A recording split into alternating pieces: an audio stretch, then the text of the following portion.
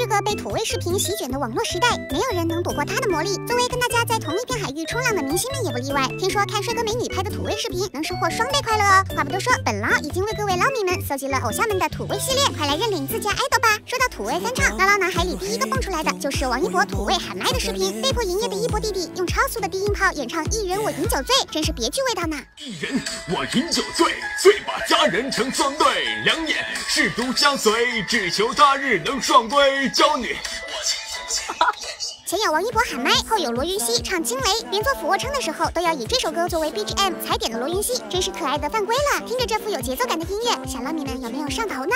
惊雷，这通天修为，天塌地陷，紫金锤，紫电，这熊熊火焰，不对。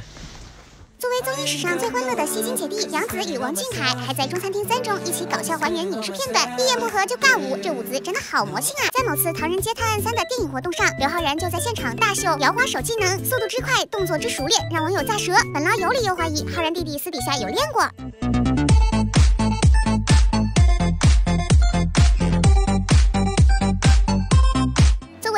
靠沙雕出圈第一团的二万 S 一组合，还曾在公司年会上全员齐跳爱河土味蹦迪，彻底放飞自我。不知道捞米们看到这儿，会不会也不由自主的跟着他们的节奏扭动起来呢？